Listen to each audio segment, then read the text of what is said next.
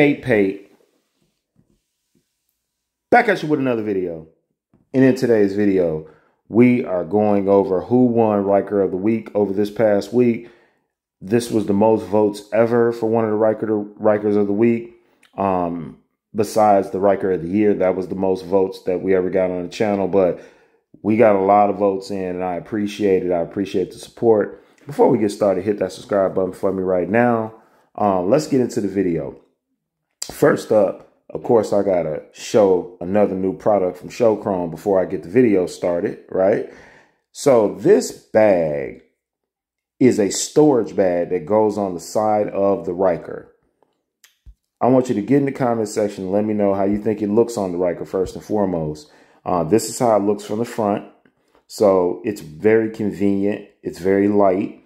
You could just remove it from the bike and take it wherever you need to take it. Um, so some of us put like a book bag on like our back or on the back of the bike on the uh, passenger seat. You ain't got to do that. You could just put it right on the side of the bike. That's pretty dope. This is the hardware for it. Real easy to install. Get in the comment section and let me know um, if you think this is a solid product. If Showchrome knocked it out the park. It is $186. So some of us have this plastic one on the back of our bike, right? We have that set up. So this would, you know, basically replace that. And you're going with this side bag setup. Get in the comment section. Let me know. What do you think about this new product? Is it worth it? Um, I think they did a great job. It look the bag definitely looks pretty good. But enough of that. Let's get into the video. In third place, with a third place finished. He finished third this week, my boy Keith Smith. Shout out to Keith Smith. Your bike look looks good, my guy. It's coming along. Um, you know, people blowing up the comment section. People really like your bike. Um, you know, I'm totally digging those Elka shocks that are on there. You know, it's it's a nice looking bike, man. Shout out to my boy Keith Smith coming in with this beautiful Ryker 900. He got a custom exhaust. He got a he got the floorboards. He even got the extended brake pedal. My boy doing it. He doing his thing. I'm digging it. Next up, the baby girl. She finished number two this week.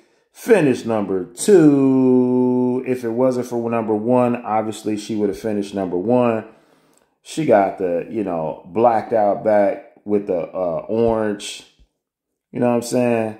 Tastefully done on the speakers. Uh, Can-Am on the seat. Look at that wheel.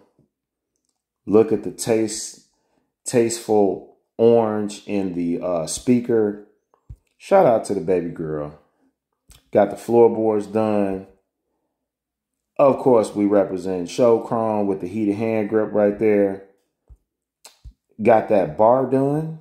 The handlebar is done. Also, it's powder coated. That's what's up. The spring is powder coated. Got these speakers up here. Shout out to CT Customs for the love on the speaker setup.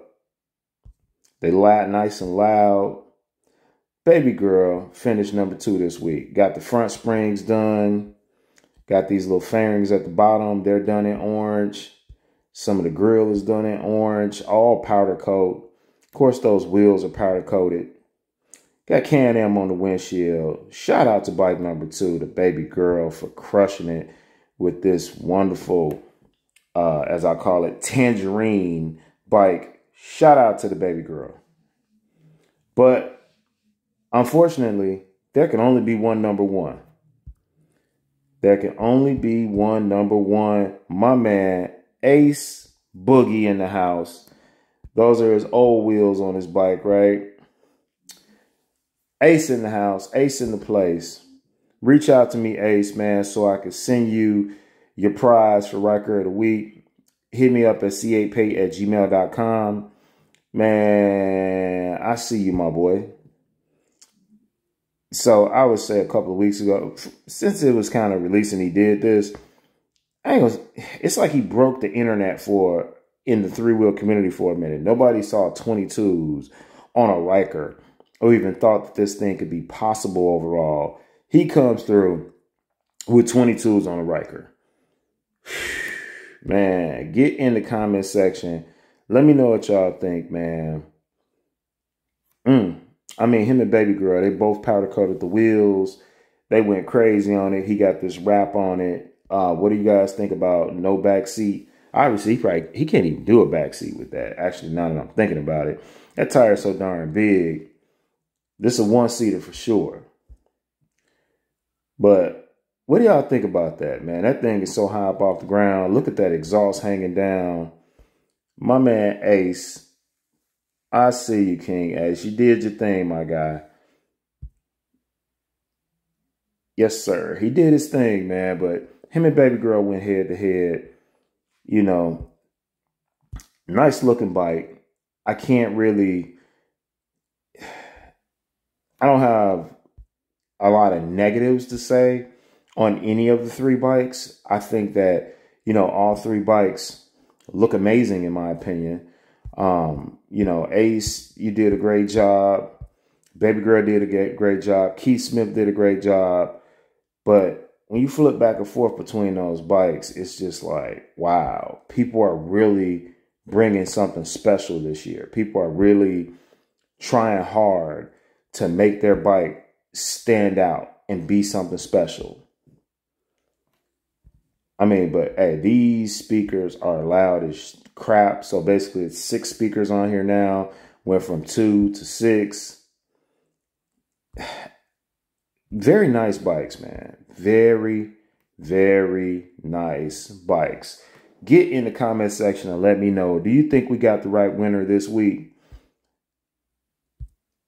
If you are not afraid to participate in one of my records of the week, please email me at c8pate at gmail.com and see how your bike stacks up against the other bikes. Again, this is competition, fair competition is, is what we're looking for, right? Does your bike stack up to this? Do you have the creativity that uh, to, to on full display where people will vote for your bike and say, you know what, this person crushed it and knocked it out the park?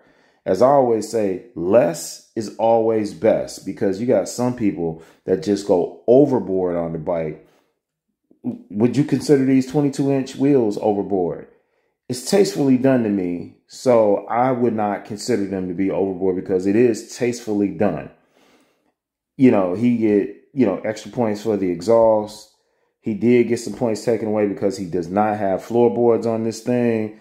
So I do think that if he had floorboards and they were powder coated and these pink rims, it would make the bike pop a little bit more.